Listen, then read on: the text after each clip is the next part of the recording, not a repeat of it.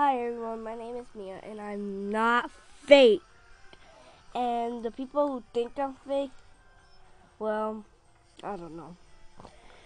I know Sammy's good and all, but why will he talk like a girl?